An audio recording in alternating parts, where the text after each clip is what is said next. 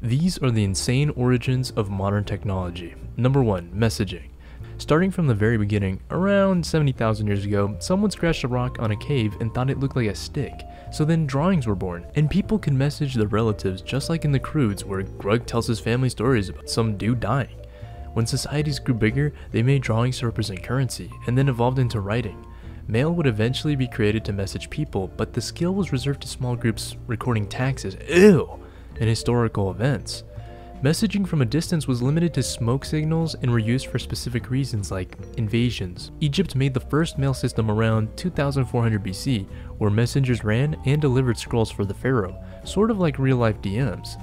This was pretty dope because it laid the foundation of the mailing service and hence messaging from afar. Later on, people noticed that a breed of pigeons would always return to where they were raised. In 1350 BC, they used pigeons to send messages across the Nile River. Horseback riding with mail was also a common practice for royal messaging like in ancient Iran. Essentially, most of the mail was reserved for the rich and powerful during this time period, or the equivalent of someone owning 30 bitcoins. Man, I should have invested in Dogecoin. Jumping 2,500 years later, now even a peasant could send mail in Britain. However, mail in these times were notoriously slow. Depending how far your mail buddy is, it could take a day or even months to reach them. So what if it was urgent news and you needed to notify them now? Well back then, your news really would be late. You see, a man named Samuel Morse had gone away on a work trip. He was a successful painter that took on commissions from wealthy families and politicians. He got to work on creating a wonderful piece of art until a letter was sent to him. It was about his wife.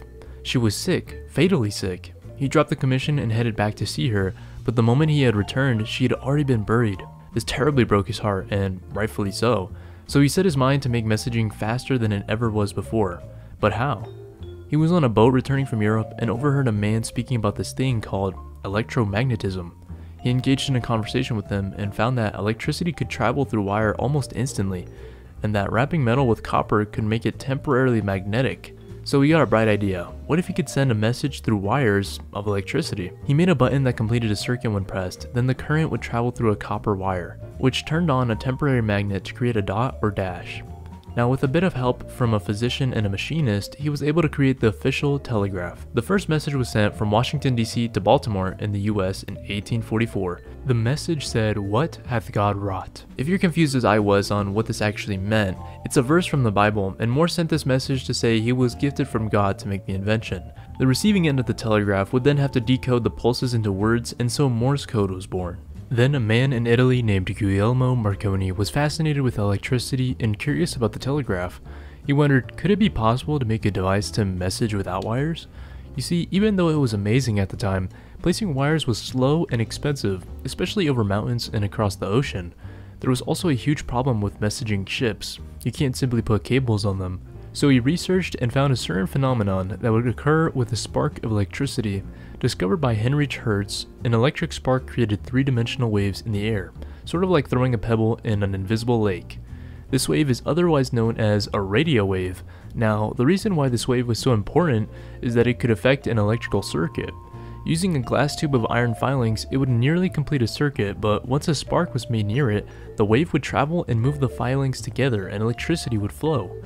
He experimented a lot to make the range better by using antennas and higher voltage, which then led to 1901 where Marconi and his new team transmitted the first wireless message across the Atlantic Ocean, which was more than 2,000 miles away, proving to all the doubters at the time it was actually possible to message across the globe wirelessly. Jumping to 1984, two men named Friedhelm and Bernard developed the technology of SMS. During this time, people could only call with their telephones or cell phones, but not message. This then led to the first text message being sent on a cell phone in 1992 on December 3rd. A 22 year old test engineer named Neil Papworth was making sure his software would work correctly for a company. He sent the first text message in history that said, Merry Christmas to a coworker at a holiday party. But it was only for the company to alert customers information, so no texting back.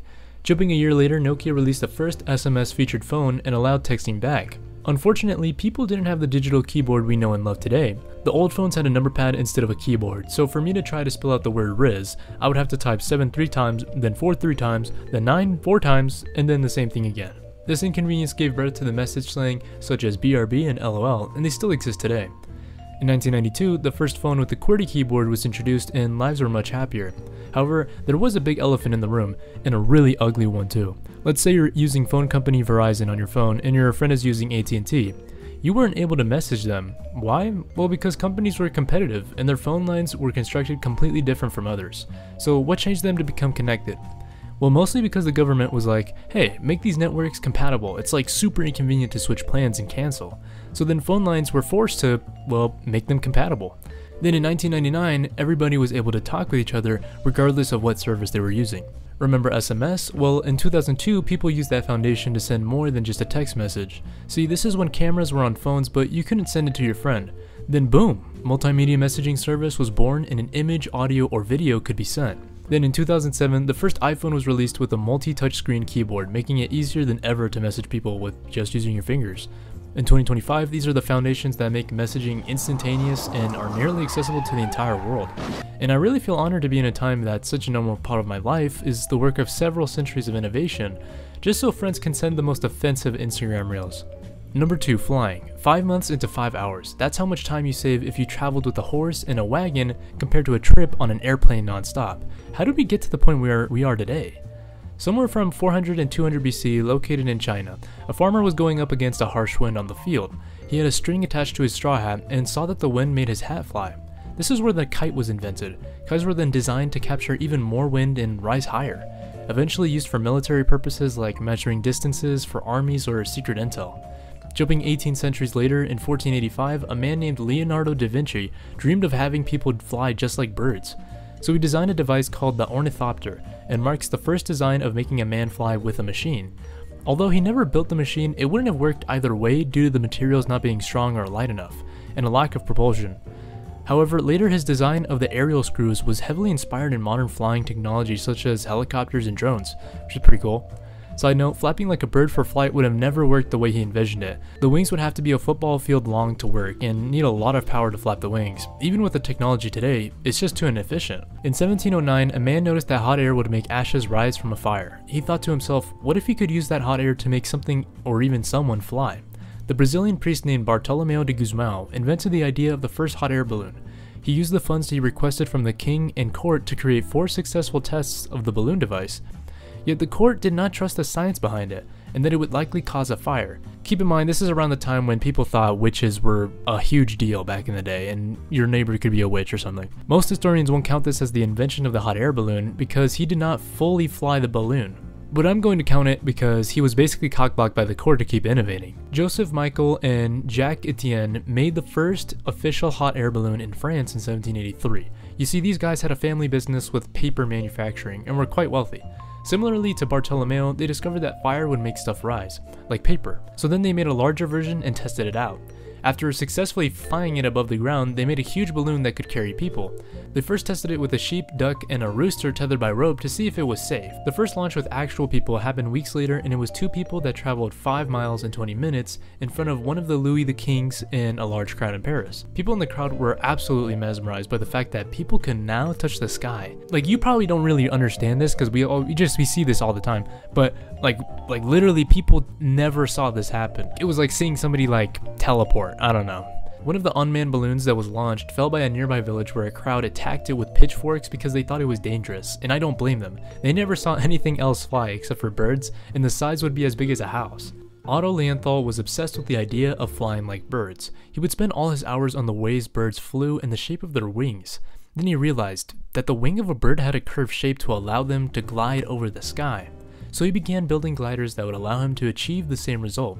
And in 1891, he successfully glided in Berlin, Germany, using the Derwitzer glider on a small hill, a structure that used willow rods and cotton fabric to glide 80 feet and navigate by shifting his body around.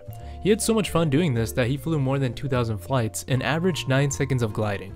So yeah, it wasn't like a lot, but still. He ended up making 16 different glider designs from his studies on aerodynamics. Then in 1896, he was gliding when a strong wind pushed against him, making him stall in the air, and then he fell 50 feet. His buddies picked him up and took him to a doctor where he was paralyzed and unfortunately died from brain trauma. He did not die in vain, however. His information and studies on aerodynamics were crucial for future flying. In 1896, American physicist Samuel Langley launched a steam-powered model glider known as the Aerodrome No. 5. This 16 feet long aircraft powered by a small steam engine managed to fly for approximately 90 seconds over the Potomac River near Washington, D.C. Langley's experiments showed that heavier than air flight was possible. He attempted to scale up the design for someone to actually fly in it, but it didn't go so well. The plane crashed on takeoff and happened again on its second flight two months later. The plane had bad aerodynamics and was built too weak, which were problems Samuel did not know how to fix. Langley crashed out and gave up on his plane design, working at the Smithsonian Museum after. Then, two brothers were inspired by flight when they saw a rubber propelling toy that could fly like a helicopter. They thought if it would be possible to fly like that in real life. So time passed by and they earned a living by forming a successful bicycle business in 1892. They began to learn to build their own bikes they sold, and used that knowledge to build their own planes. So remember Otto Lilienthal and Samuel Langley? These people were heavy inspirations to the Wright brothers and used their knowledge to construct their own flying machine. So first they started with kite experiments. They needed feedback on how the plane could fly, so they built a wind tunnel which was a wooden box and a fan that would blow wind inside to test the aerodynamics of the kites. So then they thought, where could we find a place that's windy like the wind tunnel to test an actual plane? That's when they looked and found the perfect plane where it was always windy, North Carolina Kitty Hawk. This was the place they tested their full-sized prototypes tethered to the ground at the windy area. They had to solve three main problems to actually fly though. First was getting off the ground. They fixed this with using propellers and the aerodynamic design of their plane. These propellers were not like any other propellers on the market though. They made unique aerodynamics propellers that could actually fly. The second problem was having the power to move forward, which they made a completely custom built aluminum engine with the help of a friend. It was custom because no other engine was powerful and light enough. Alright, they got lift, they got power, what else? Oh, actually steering the plane. So they controlled all three possible directions a plane could steer using an elevator, a rudder, and a wing twisting contraption, all conveniently described with my animation. This was tested and discovered in their wind tunnel. Then the Wright Flyer was born, and it became the first airplane in history to actually fly in 1903 by solving all of these problems. On December 17th, it glided 120 feet in 12 seconds at Kitty Hawk in North Carolina. Then two years later, the plane could fly for 39 minutes, being able to maneuver in any direction. The Wright brothers later patented their designs and kept improving the structure of their planes. Around this time, other people in the world were trying to fly too. A man named Alberto Santos Dumont was one of those people and he flew using a Minecraft looking plane in front of a crowd in France. See, the Wright brothers didn't want people to know how they built their planes, so they couldn't steal it. Alberto, however, didn't care as much. It was the first powered flight in Europe that people saw happen. The Wright brothers needed a rail to launch their plane, however, his plane didn't and flew about 197 feet through the air. The flight was around 21 seconds and it traveled 15 feet above the ground, but it was proof that humans really could fly. At this point, the Wright brothers were still low key about their flying invention, so this was a huge deal in Europe. So people could finally fly now. But when did people start to use it for transportation? In 1914, a man named Percival E. Fansler was an electrical engineer and the organizer of the first airliner called St. Petersburg Tampa Airboat Line. He gathered investors to help financially back his airline company with $3,300, which in 2025 inflation adjusted money is $105,000. The first flights were short, only around 20 minutes long, but it was much faster compared to boats and trains at the time. The cost for a ticket was $5, which adjusted for inflation was around $115. This was actually pretty generous as it was barely making profit from the price. He did this because he wanted to make sure more people were able to fly on his airline. Now, at what point could we fly even higher than the skies, like into space? So before people were sent to space, there were satellites. The way these satellites were launched above the Earth was using rockets. Why not use planes instead of rockets? Well, there's a reason they're called airplanes. They use air to fly, and in space there is no air to push off of. Before sending actual people to space, they sent animals like dogs or monkeys, but you might have not known that the first living thing to go to space were fruit flies. When they came back to Earth, they were horrifically dismantled and developed 23 types of cancers. No, I'm just kidding. They came back just fine. The first spacecraft to carry a person was called the Vostok 1. A man named Yuri Gagarin from the Soviet Union became the first human in space in recorded history in 1961. He rode inside a small spacecraft that he could only fit. It launched him into orbit using rockets on April 12th and made one full trip around the Earth in about 90 minutes.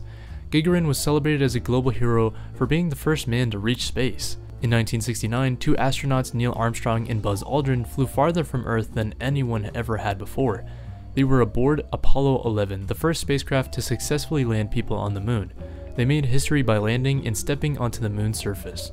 Once again, I'm honored to be in a time where there's the option to travel around the globe without having to endure weeks to even months of traveling. I hope you learned something new from this animation today, and I really appreciate the technology we have after spending hours of research on this video. Check out my store justjams.store to grab the shirt I'm wearing, and have a great rest of your day. Peace.